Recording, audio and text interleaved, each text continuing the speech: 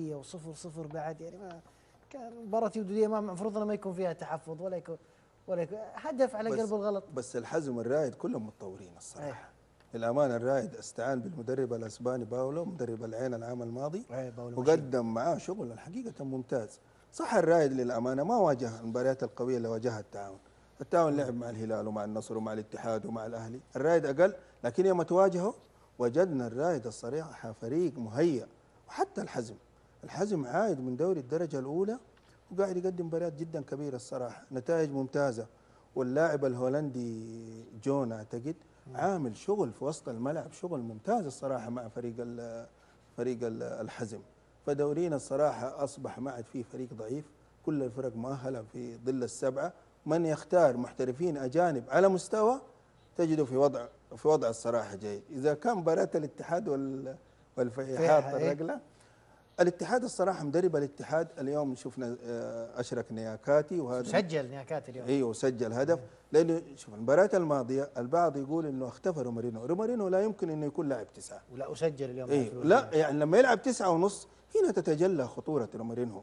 لما يكون لاعب تسعة يختفي من أرض الملعب ويصير في انتقادات رومارينو مو ظاهر. لما يلعب في خانته الأساسية اللي يبدع من خلالها تسعة ونص ومعاه الآن كورنادو لاعب عشرة. ويكون زي ناكاتي رأس الحربة هنا حتكون قوة ضاربة هجومية لفريق الاتحاد حقيقة. برضو اليوم منح فرصة لل- للحافظ خلال مباراة اليوم وتمكن وبرضه سجل. وتمكن من التسجيل. فالمدرب الصراحة قاعد يعمل توليفة وقاعد يشتغل لأنه المباريات الجاية حيكون أنا أتصور شكل الفريق الاتحادي مش الاتحاد بس هي صدارة وده للمنافسة. لازم يكون في تهيئة اللاعبين الآخرين. شكل الفريق لازم يكون أفضل. فمباراة اليوم كانت الصراحة جدا جدا مفيدة للاتحاد. في نفس الوقت مفيده لفريق الفيحاء. فريق الفيحاء حتى هو يخسر مبارياته الكل يطلع مجمع إنه فريق الفيحاء قاعد يقدم مستوى حلو الصراحة. صحيح. فريق عائد مدرب أنا الفيحاء الصراحة بكل أمانة تابعت آخر مباراة قبل الهبوط حزنت عليه لأنه يوم لها أحداث دراماتيكيه يمكن الكابتن محمد داري عنها بتفاصيلها. فريق الفيحاء قاعد يقدم كورة حلوة الصراحة كورة جيدة في أرض الملعب فريق ممتع يخسر لكنه مقنع. فالمباريات التجريبية دي تعطينا مؤشر لعودة إن شاء الله قوية وانطلاقة قوية للدوري. صح الدوري بمطبات التوقف لكن مع ذلك الدوري محافظ على قوته.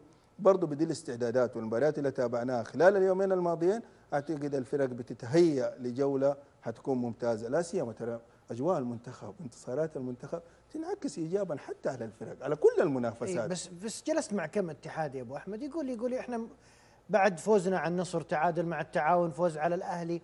يقول كنا في فورمة الانتصارات لو واجهنا ضمك في الجولة الثامنة اللي هو ثاني الترتيب يكون بنفرق بشكل كبير في سلم الترتيب. يقول الآن الفترة هذه أخاف أنها تموت حيل الشباب. والاتحاد عادة أنا أتفق مع دي الرؤية إنه الاتحاد عادة يجي بعد التوقف أيوة. شوية يعني راخي. مش مش مثل. أيوه عادة. لكن أتوقع إنه في عمل إداري خلال الفترة الحالية عمل إداري كبير. حتى ال- الجهاز الفني والجهاز الإداري استغلوا مباراة المنتخب كده فجأة. لقيتهم ما شاء الله خارجين ورايحين كده عشوة سمك كده حلوة. يعني الناس شغالة على مدار الساعة.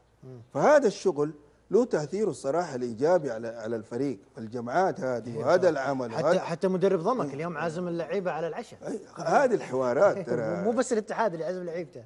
إحنا إحنا إحنا بطبيعتنا الجانب المعنوي كل الفرق ال- في العالم تفرق بس إحنا من زود.